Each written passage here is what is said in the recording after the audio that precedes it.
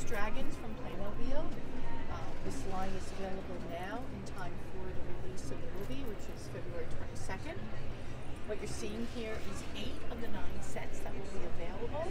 We have one set embargo because it contains one a, here? Yep, contains a spoiler. Um, you know, Playmobil does a beautiful job with its sculpting. They've had this license actually. We had Dragons 2, but all the sets here are exclusively based on the movie. So I can light up. This is these are the two main sets. We have Hiccup and Toothless with the baby dragon. And then we have Light Fury with the baby dragon and children.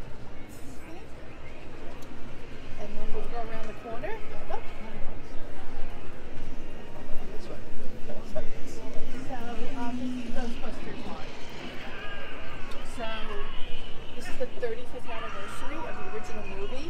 So to celebrate, um, Playmobil, which has had the license for the last few years, and it's been exceptionally popular for them. Um, it's a nod to the collectors. So we are we're going to be um, offering four of the original figures in this um, window box. They've never done window boxes before, so it's clearly a nod to the collector. It's for display. Um, and then for the first time ever, they're doing these six-inch figures.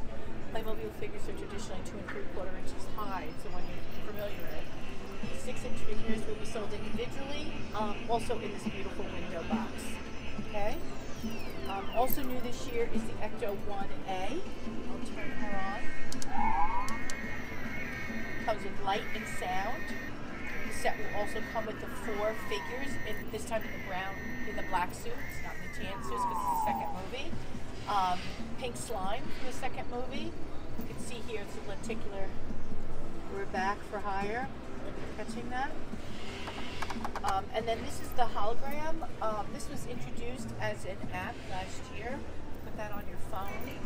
You can, um, there's, it's an app you press and you can capture a ghost, so you can kind of see the ghost in there because it fits in the trap. And then the ghost is sucked down into the trap. So it's kind of cool.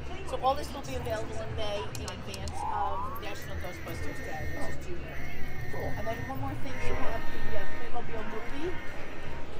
So I don't know, is that of interest? Oh, sure. Why not? You're taking time, so why not? Playmobil movie. Um, trailer dropped about 10 days ago. Um, short story is that it's an adventure through um, Playmobil worlds.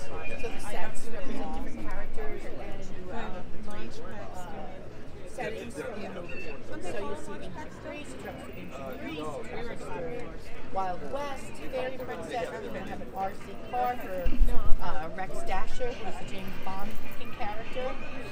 Um, then we're also going to have collectibles, uh, blind bags, which are very popular in the toy industry, based on characters from the movie. And this is all coming out in August. All right?